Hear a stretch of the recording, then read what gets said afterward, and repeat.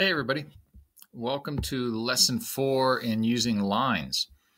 So now that you have some understanding of grid geometry and you can navigate the environment a bit more, make sure you have your instructor window open and you should be on the line tool. The first pencil looking tool is a straight line tool.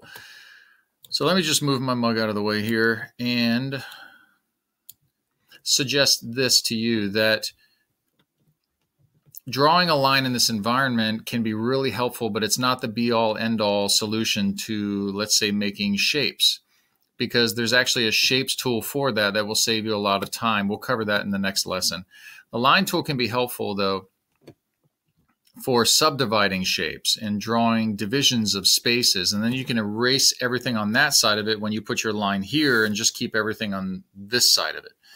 Um, and remember this, that when you draw a line, if I'm in the pencil tool and I left click and I start drawing a line over here, this line could be anywhere right now. It's an illusion that it's on the ground. It could be going out to the horizon, like two miles away. Unless you pay attention to how it locks into red. If it locks into a red color, that means it's parallel with or on the red axis the horizontal axis. If you come up here going vertically and it goes and it locks into blue on blue axis, it means it's parallel to the y axis. Anywhere in between that, it could be anywhere. Um, so pay attention to those little helpful hints because it's not a smart program. It's only ever doing what you tell it to do. And, um, you know, if it's not glitching, that's the only thing it should be doing. So when you draw shapes or you draw lines or you perform certain functions, you can designate exactly how much you want it to do of that function, like drawing a line. Um, understanding that an apostrophe is feet and quotation marks is inches, you can let go of your line when you think you got it where you want it to be. I'm going to let go. It looks like it's on the x-axis. And down here, I'm not clicking in this window. I'm just showing you on the bottom right of your screen. It says length, four apostrophe, five and a half quotation mark. That means four feet, five and a half inches. Within about 10 seconds, you can still edit that simply by typing this in. If I wanted to make it 10 feet, I would type in 10, and you can see it live time changing in the bottom of your screen over there. 10 apostrophe, enter. Now that line is 10 feet long. Cool. Try to draw another one up from there, up from the corner, and put it up in the air and let go and type in. Right now it says six feet, seven and three quarters. That's not what I wanted. And I wanted a eight and a half feet long. You can type that a couple of different ways, but I like 8.5 apostrophe. And you can see that showing up in the bottom right of your screen. Enter. And it's eight and a half feet long.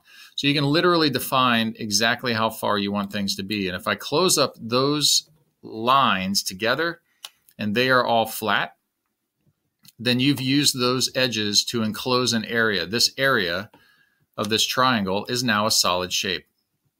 Okay? This is pretty fun stuff um, because it gets way more interesting here um, when you learn how to use the shapes tool to do stuff and other functions to make these three-dimensional. But that's a good starting point for lines. You could, you could, if you wanted to, now take this line and any edge, it will help you find the midpoint there, midpoint of this edge.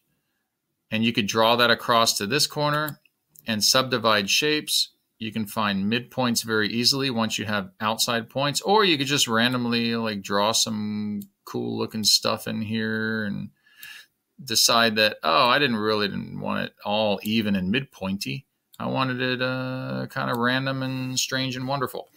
And then you can take the eraser tool and put that little circle on there and erase two lines at once and do all sorts of fun stuff and make a bunch of funky shapes. Okay, that's the line tool. The next tutorial, I'll show you how to use the shapes tool. It gets really fun. See you then. Take care, stay healthy, stay engaged.